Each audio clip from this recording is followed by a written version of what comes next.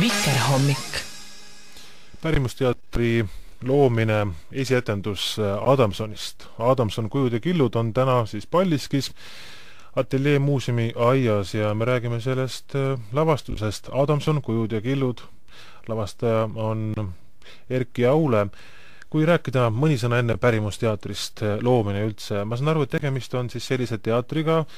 mis üritab tutvustada just Eesti rahvapärandit, kultuuripärandit ja see on ka ilmselt põhjus, miks just Adamsoni teema üles võeti.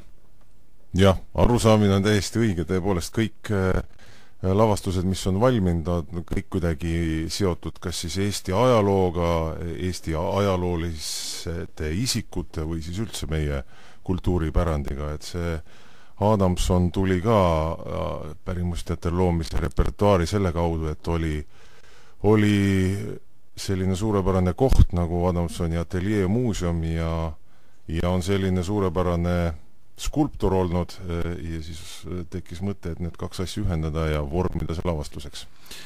ega inimese elust ei ole ju väga lihtne mingisugust teatritükki teha, alati peab mõtlema, et mida siis nüüd täpselt kujutada seal, mida rääkida, kuidas te selle olete lahendanud? Adamson on nii värvikas kuju ja elanud nii mitmes paigas maailmas, Pariisis ja, ja see lavastus on nüüd siis Paldiskis, ka seal veetis ta osa oma elust? Jah, et tavaliselt suurmeestest või siis suurkujudest tükke luues ongi kaks võimalust, kas lähtuda sellist traditsioonilisest vormist, et võtta te aluseks tema elulugu, mis tavaliselt alati annab ka väga palju äh, kirjanduslikku materjali ja dramaatilisi pöördeid või siis, või siis leida mingi teine nurk, et äh, antud näidendi autor siis Loone Ots on leidnud selle teise nurga, et ta on võtnud fookusesse mitte niivõrd just äh, selle Adamsoni eluloo, kuivõrd äh, nende modellide e eluloo, keda ta kasutas oma nende surematute kujude loomiseks ja siis äh, selle kaudu siis on äh, on äh, kõrvutanud neid äh, elusaatusi ja selle kaudu siis on ta ka leidnud väga huvitava, huvitava teema minu arust, mis seda, mis seda näitemängu iseloomustab, nimelt äh, inimese saatus ja kuivõrd inimene ise kujundab oma saatust ja kuivõrd inimese äh, elu äh, kujundab inimese saatust. aga Adamsoni ennast siis laval näha ei saagi või? saab. sellest, et Adamsoni saab äh, näha laval, saab näha nii tema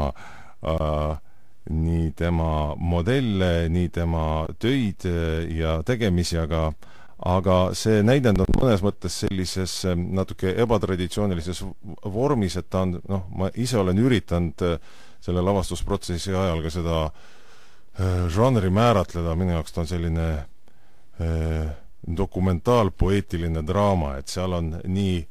nii dramaatilisi stseene kui ka selliseid äh, poeetilisi jutustavaid stseene kui ka selliseid elulooseiku, et ta on selline läbilõige nii Adamsonist, äh, tema elust kui ka tema töö tegemisest. ja siis Adamsoni modellid on, on need, kellest põhiliselt räägitakse, nende elusaatusest. kuivõrd nüüd Adamson, Amandus Adamson sekkus äh, nende modellide käekäiku? Seda tuleb ka välja sealt. jah, naljakal kombel äh,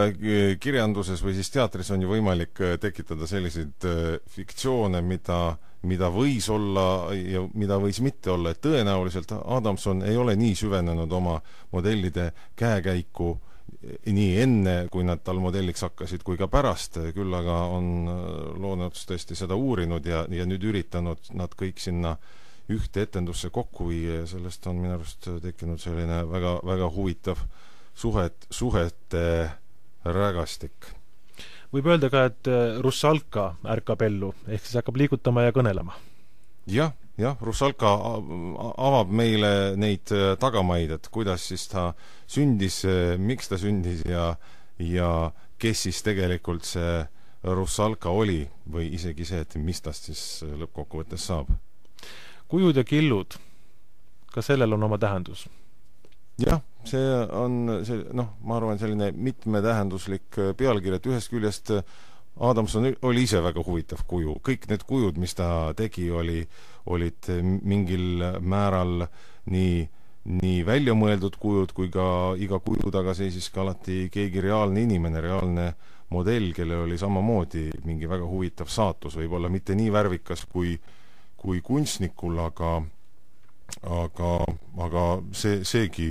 nõuaks kindlasti äh, näitemängu sissepanemist ja samamoodi killud, et äh, noh, tihtipeale see, mis me mäletame või see, mis meist,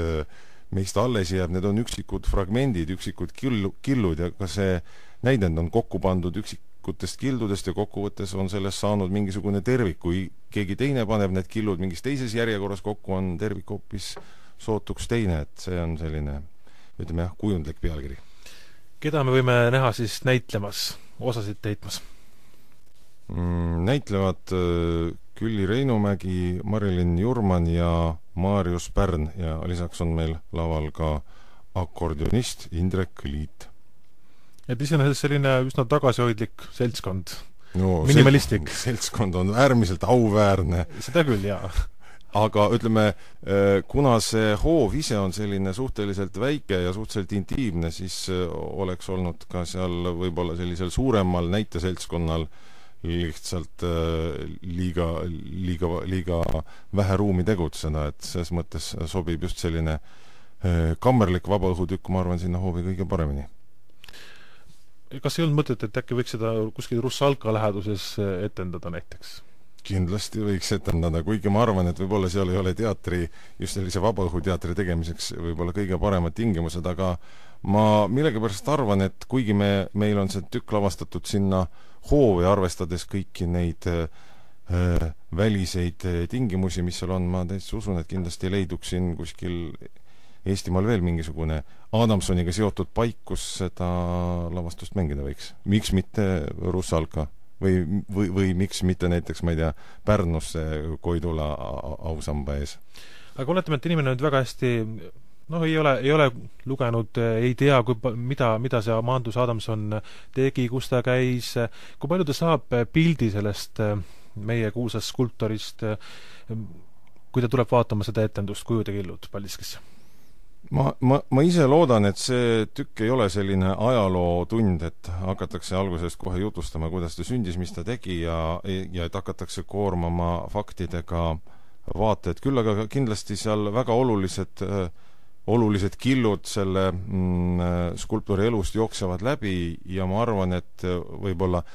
peamine eesmärk olekski see, et kui inimene selle inimene, kes ütleme, Adamsoni suhteliselt vähe teab, võib-olla ainult seda, et ta on Rusalka teinud ja midagi veel, siis peale seda tükki tal tekib äh, huvi ja tahtmine uurida, mis siis see huvitava elusaatuse ja loomingu, loominguga äh, kunstnik on siis veel teinud. eessetendus on täna õhtul kell kuus, siis Paldiskis Adamsu, Amandus Adamsoni ateljee muuseumi aias ja neid etendusi on veel mõned. Äh, ka reedel kell kuus õhtul ja ega väga pikalt äh, te seda ei mängigi. nojah, siin võib-olla, võib-olla nüüd see, see ja järgmine nädal on selline päikesepaisteline, võib-olla hakkab siin kahe nädala pärast Eestimaal lund äh, rahet sadama, et selles mõttes on see seotud ka mõnes mõttes meie klimaatiliste tingimustega, aga aga kui tükk osutub populaarseks, siis miks mitte seda näiteks mingil ajal veel kuskil mängida. Aitäh tulemast stuudiosse Erki Aule, selle lavastuse Ad-, Adamson Kujud ja killud lavastaja ja ma loodan, et huvilisi on täna palju kohal ja et nad isegi võib-olla ei mahu ära kõik sinna kohale. väga võimalik, jah